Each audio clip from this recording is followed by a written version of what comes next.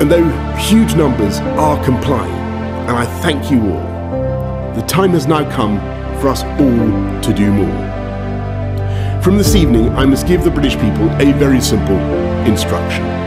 You must stay at home. Stay at home. Stay at home. Stay at home. Stay at home. Stay at home. Stay at home.